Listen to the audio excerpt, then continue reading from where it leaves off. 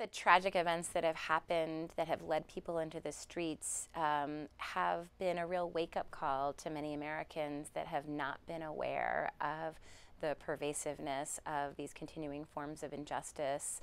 Um, and I think that as tragic as these events have been, in a way, it is an exciting time and creates a window of opportunity for real change.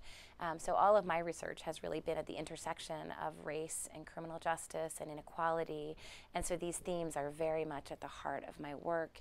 Um, and I think now there is this um, opening both among the American public and potentially in criminal justice policy more generally to rethink a lot of the approaches that we've had to law enforcement in the past.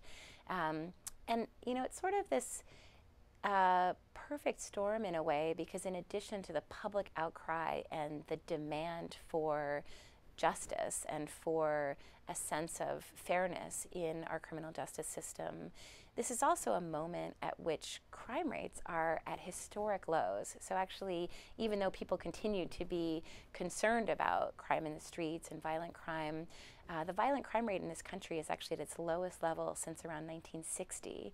And this presents this real window of opportunity to rethink our justice institutions and to rethink our approach to crime and punishment in the United States.